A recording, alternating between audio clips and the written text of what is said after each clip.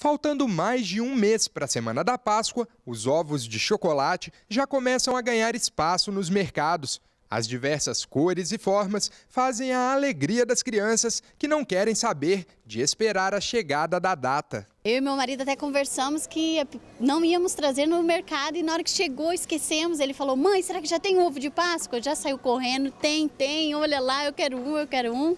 Tem que ter para as crianças, tem que fazer um esforço para não passar sem. Para os adultos, o formato do chocolate não faz tanta diferença, mas para a criançada.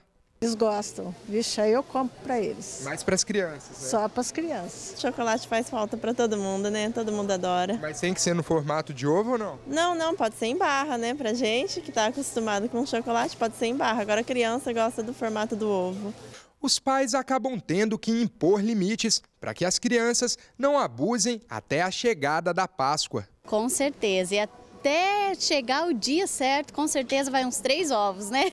Quem esperar pode pagar menos, já que os preços de lançamento dos produtos costumam ser mais salgados.